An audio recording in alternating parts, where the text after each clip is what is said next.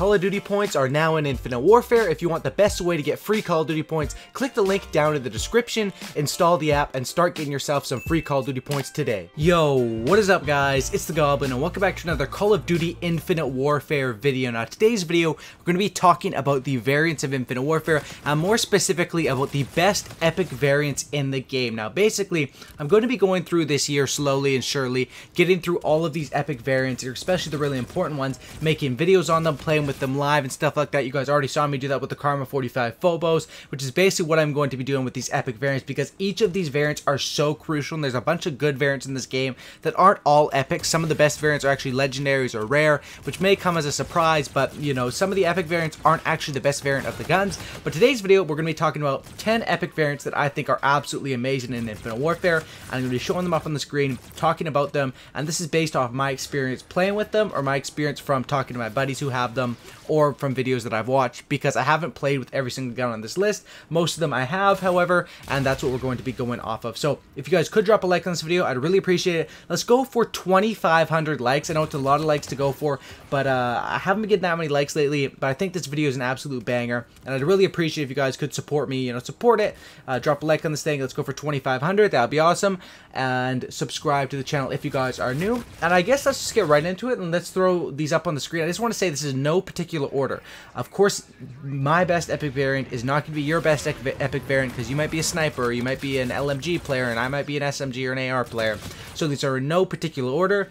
Let's throw the first one up on the screen, and the first one is going to be the NV4 flat line. Now, basically, this one gives you precision, which is infinite damage, damage range with reduced fire rate, and it also gives you focus, which reduces the idle sway while aiming down sights. Now, this gun is very, very good, but the thing that's not so good about this gun is the reduced fire rate. Now, if you look at the stat card, it only reduces it by 4, but that basically means that the, the positive about this gun is that, of course, you're going to get that infinite damage range, which means you're going to be killing every single person in 4 shots. There's not You're not going to hit that 5-shot kill range ever. You're going to be killing everyone with 4 shots, which means this gun is, of course, probably the best assault rifle. It definitely is the best assault rifle at a super long range and definitely is the best version of the NV4 at long range. Now, because of the reduced fire rate though, it means other versions of the NV4 will be better than this at close range. So if you're going to use this variant, it's definitely made for a map, for example, a map like Crusher, maybe a map like Skydock, where there's that really long uh, lines of sight and those long ranges on those maps, this epic variant will go absolutely dumb on them, and it definitely deserves a spot on the top 10 in this game. But I just want to point that out, that if you are using this gun and fighting at close range, it is going to be a bit weaker than the other variants because of that minus 4 fire rate. It's not a big deal, but it definitely is something that can affect it and can change, you know, maybe 5 to 10% of gunfights. So, I want to point that out. Let's throw into the next one, which is going to be the Mauler Mammoth. Now, the Mauler is a freaking awesome LMG. I'm a really big fan of LMGs in this game, specifically the Mauler and, of course, the Raw LMG. The Titan is still pretty good, but those two are superior in my opinion. Now, the Mauler Mammoth is absolutely deadly because the two things that it comes with are Heavy Hitter, which is double damage. Listen to this, double damage but a slower fire rate, and then Sharpshooter, which is increased damage range. So basically, I have used this gun, I picked it up on the ground and used it a few times. It is really good, and it gives you double damage. It's killing people in two shots, but it has that, you know, slower fire rate. Of course, you can see on the fire rate, I think it says minus 34 right there. And then it says increased damage range also, which means you're literally killing in two shots every single time but the fire rate is very slow. And what this version reminds me of is it really reminds me of the Gorgon from Black Ops 3. The Gorgon from Black Ops 3 was an absolutely awesome gun, and especially at the start of Black Ops 3, was actually very, very overpowered. It would kill in two shots, and they did end up nerfing it, and, you know, went back to the back of the game, you know, it wasn't at the forefront of the game anymore once they nerfed it, but I feel like this Mauler Mammoth is the Gorgon all over again, and if you guys are lucky enough to get this epic variant or build up to it, if you're a fan of the Mauler, it's definitely worth the build up for it, because this variant does absolute work Absolutely love it and recommend it. If you're a fan of, of, a gun that has a slower fire rate but can pick people off across the map, this thing might even be better than the flatline across the map because it just takes two shots or it might take three at distance, but it's, you know, it's a quick tap tap and this gun is absolutely awesome. Now, Next gun up on the screen is going to be the KBS Longbow Big Brother. Now, I'm not the biggest fan of snipers, or I'm not the, I mean, I'm a, I'm a fan of snipers. I'm just not very good with snipers. I mean, I'm decent with them, but, you know, my strength is in ray guns. Uh, with the KBS Longbow Big Brother, the reason why this one is so good is it becomes, is it, is because it comes with awareness, which means the minimap stays active while scoped, and stockpile, which is increased ammo, which increased ammo can help you, but the main thing of this is that the minimap stays active while scoped. This is absolutely huge, and the reason why is because if you guys haven't really used snipers in Infinite Warfare, you haven't in other Call of Duty games, basically the weird thing about sniping in this game is sniping is very good and it was actually overpowered in the beta. Now I think they've nerfed it to where it's still good but it's definitely not overpowered. But when you scope in, your minimap is going to disappear, which isn't a big deal. You're scoped in, you're not going to be able to see the minimap anyways. But when you scope out again, for a split second there, and it's it sounds like it's not a big deal, but it actually is like half a second. It's pretty noticeable, a third or half a second. Your minimap is not going to be up there. So if you're a quick scoper, you quick scope a guy, and you go to stare right up the, at the minimap as soon as you're aiming out, you're not going to be able to see anything, and that really does hurt quick scopers, or it also hurts long or hard scopers a little bit, but not as much. And that's basically why you need to get this epic variant if you are at all a fan of snipers. This is the one you're going to want to be sniping with because of that awareness. It's absolutely crucial. Minimap is so important in Call of Duty, so important in a game like Infinite Warfare. It's absolutely crucial to make sure you can get that up as fast as possible while quickscoping that's why this KBS longbow is absolutely deadly. Now, the next one is going to be a supply drop only gun. This one is only available in supply drops, and for good reason, because this thing is absolutely awesome and it's absolutely crazy. It's the Volk Corruption. Now, you guys will see it up on the screen right now. It gives you Mo Money, which is every kill grants extra experience and Sharpshooter, increased damage range, stacks with Particle Amp, and the gun sort of looks cool too. It looks like an AK-74U up on the screen. Absolutely dope. Obviously, the increased damage is crazy good with the with the Volk, but the main thing is that more money extra experience. It actually grants you 20% extra experience, which is absolutely huge, especially when there's so many double XP weekends in this game if you're using that, uh, every kill grants extra experience. So, so for example, if you get a kill, it's worth 100 points, right? 100 XP then that's going to be worth 120 XP. It's not going to help you in game necessarily, but it's definitely going to help you level up faster.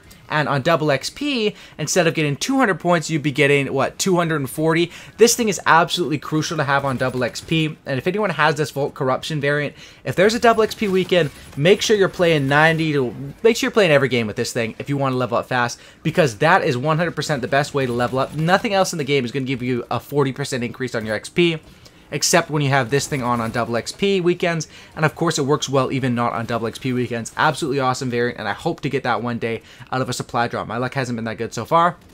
Next one on the list is going to be Karma 45 Phobos. You guys saw me play with this one. I absolutely love this version of the Karma 45 because of the stats it gives you and the, the perks it gives you, but also because it changes the iron sights, and in my opinion, makes the iron sights a lot better than they are in the original Karma 45. That's why this is probably this is by far every time I use the Karma, I'm gonna be using this variant.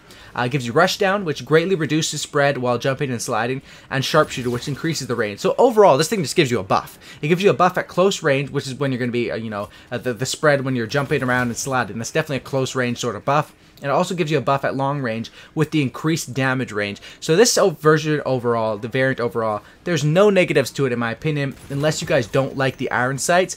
Uh, the only negative would be that you're not getting the perks from using other variants like the legendary or the rares, but none of them really stack up to this one. I think this one is absolutely awesome. I think you guys should all definitely give this Karma 45 Phobos a try. How you get this is on the Orion Initiative, which actually you need to get to level 40 to get the FHR Havoc. You get to level 50, you get the Karma 45 Phobos. Definitely the number one mission team you want to go for. I've said this before. Orion Initiative is definitely your mission team if you want to get some cool SMGs in the game. Now, let's get back into these top 10 epic weapons in the game. First one we have here, or not the first one, but this is actually going to be the sixth one because we've already gone through five of them. But this is the RPR Evo Bosozoku. I think I'm saying that correctly. I hope I am. If not, you got to give me some apologies, boys. But there's basically two epic versions of the RPR. They're both very good. The other one is, of course, the Ripper, which is the Ripper from Call of Duty Ghost, which everyone loves that one because it's nostalgic and it was so damn good in the beta. But they have really nerfed that one and gave it so much recoil now, and that's why I'm putting this one up on my list. Basically, what this RPR Evo gives you, and what the, this epic variant gives you is it gives you below the belt, which gives you bonus damage towards the groin instead of headshot. So it's basically swaps out that headshot multiplier for basically like a shot, a, ball shot multiplier. If you're shooting the guy in the balls, he's you're gonna do extra damage, and this thing definitely is really good because when I'm using SMG, I'm always aiming for that, you know, the, the lower stomach or the, the stomach groin area. This variant is definitely very good. And of course, the other one it has on it is stability, which is reduced recoil, which is perfect for this RPR Evo. This thing does have quite a bit of recoil, and having that definitely adds a, a good variant on this gun. And this one definitely works very good for the SMG portion of it. Of course, the below the belt goes a lot better with the SMG portion than the assault rifle portion because the assault rifle portion is more for long range shots. You're not going to be shooting them in the groin. However, SMG, shoot them in the groin, drop shot, definitely very good on the RPR Evo. Next variant we're going to have here is the FHR-40 Windfall. Now this one is actually received by completing the first mission team in the game at level 50 of course, so not completing just one thing, you got to complete it 50 times. And this one is absolutely awesome. It gives you Invigorate, which basically gives you killing an enemy refills a portion of your health. This thing is absolutely huge. I've used this weapon quite a few times. I don't actually have it yet, but I picked it up tons of times. A lot of people have this gun, and it's absolutely awesome how if you're in a gunfight, you kill the guy, you get a little bit of health, health back, which can help you to get double kills and triple kills, which is absolutely absolutely awesome. Of course, it comes with stockpile as well, which increased ammo. That's definitely a plus. Another cool thing about this gun, well, it depends, it, it, a personal preference if it's good or bad. It basically comes with a built-in sight on it. It's sort of like an ELO sight, and it sort of like highlights the enemy players. I really do like the sight that it comes with on this gun, and it basically means you have your built-in sight, and you can run whatever attachments you want. I wouldn't run a sight anyway with the FHR, because that's really a close-range gun, but this variant definitely is very good for rushing because of what it gives you. The increased ammo is going to help, uh, uh, you know, just help you keep that ammo count up. And then, of course, the Invigorate is probably the main portion of this thing, keeping your health up and allowing you to get those double kills and those triple kills. The next one we're going to have here is going to be the DMR Spectacle. Now, basically, what's so good about this variant is it is on a sniper rifle, but as you guys know, sniper rifles have auto-aim in this game, and back in Black Ops 3, sniper rifles did not have auto-aim. This one comes with reflex, which basically means you're getting a default sort of, it's more of like a boxy shaped reflex sight on this gun than a normal reflex sight, but you're getting a reflex sight built in with this gun, and you're also getting focus, which basically allows you to focus while aiming down sights. It's basically like ballistic CPU, which makes this gun basically another hidden secret assault rifle in the game when you have this epic variant of it. This thing is really good. It reminds me a lot of sort of like maybe like an MX Garand or a, a Shieva when you use it. A two-shot kill, um, and it is going to be your semi-automatic sniper rifle, but you're sort of going to be using it. It's technically still a sniper rifle, but come on, let's be honest. When you have that sight on it, it feels more like an assault rifle and that's basically why this version is so cool, because this game has a lot of hidden assault rifles. There's only five default assault rifles, but there's a few hidden ones in the game. There's the EBR 800 can turn into assault rifle. This one can turn into assault rifle when you have that epic variant. Then of course you have your M1 and you have your uh, ARX, which is the OSA. So basically in total, if you take all those into account, you have about nine different assault rifle options in the game, which when people straight up look at the game, they see five assault rifles and think, oh, this game has a lack of guns, when in reality they could have had more assault rifles, they could have had more SMGs, but they do have uh, the classic weapons, and of course, the ability to different weapons that switch. For example, the Type 2, uh, one, one of the versions of that can switch into shotguns. Uh, the ERAD has an underbarrel shotgun. Uh, there's a lot of different secret stuff in this game that definitely is going to take time for everyone to unlock and try out and see what's the best.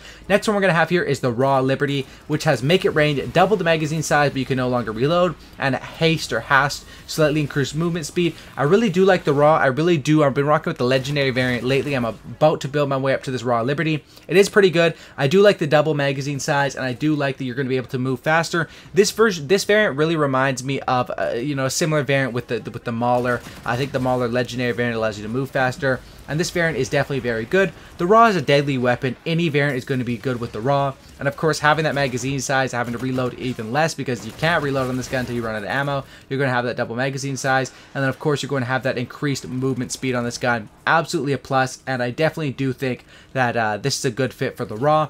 Uh, a really good gun with the Raw Liberty. And the last one on our list is going to be the Oni Kaken. Now, this one is actually a pistol, but what's so cool about this pistol is that it has the ability Overcharge, which basically allows you to charge up and shoot a powerful single shot, which is similar to a pistol in Advanced Warfare. I can't remember the name of it right now. I think it was maybe R-Case. I can't remember the name of it. You guys can definitely let me know in the comment section down below. What was the name of the pistol in Advanced Warfare that charged up and fired a single shot? But that pistol was really awesome, and this one, Oni Kaken, is just as strong, if not stronger from that, from the gameplay that I've seen of this thing. Looks absolutely deadly. You, of course, have focus as well to reduce the idle sway while aiming down sights, and of course, the fire rate on this thing is going to be very, very, very low because you basically have to charge it up, and it's like a mini Tempest from Black Ops 3 or the pistol from AW You take a second, charge it up, and boom, zap people and one shot kill them. This thing is absolutely awesome, and it sort of goes around with, you know, if you have a, a shotgun class, you could run this as your secondary, or if you had a sniper class, you could run this as your secondary. All that stuff would fit very, very well with this pistol, and I think it's definitely the best version of a pistol you're going to get when you have the epic variant with this. The pistols in this game aren't the strongest. They're not the weakest, but they're not the strongest. BO3 had some really good pistols. The RK5 was was crazy. If you guys ever watched competitive in Black Ops 3, the RK5 absolutely dominated dominated competitive. And then of course the Marshal 16. This one is really cool, and it is kind of like the Marshal 16, to be honest. Uh, the Oni Kaken, a really good variant. Hope you guys did enjoy this video. All the epic variants you guys need to know everything about them. I'd really appreciate if you guys made it to the end. Please, please, please comment top 10 down in the comment section down below and drop a like on this thing. 2,500 likes is the goal. That would be crazy if we could hit that. I'd really, really appreciate that. Subscribe to the channel if you guys are new, guys. I'd really appreciate that as well. And uh, that's about it, guys. Sub for Cookie and no and I'm out. Peace.